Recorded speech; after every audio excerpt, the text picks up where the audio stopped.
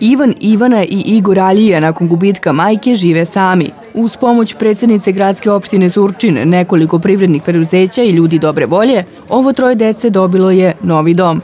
Kao inicijator ove akcije Vesna Šalović dobila je priznanje za najpoduhvat godine.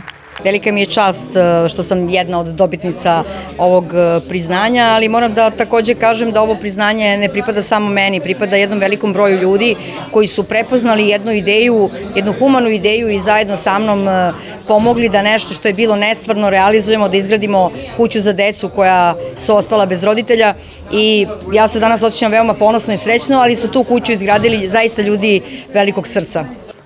Srpski Oskar je prvi put organizovana manifestacija na teritoriji naše zemlje, a Oskar se dodeljuje u 20 kategorija. Kategorije najuspešnijeg kulturnog javnog života, najuspešniji kolektiv, estradna ličnost, zatim privrednik, humanitarni gest, sportski kolektiv i tako dalje. Najuspešniji iz kulturnog javnog života u prošloj godini po glasovima publike koji su najmerodavni. Predsednika opštine koja je u svojstvu i predsednika opštine i humanog gesta i tročlane porodice koju je zbrinula i prvo kao human čovek, a onda i kao političar i predsednik opštine Surčin. Predsednici gradske opštine Sučin ovo nije prvo priznanje. Krajem 2015. godine dobila je i nagradu za najženu u oblasti politike, koja se dodeljuje svake četvrte godine.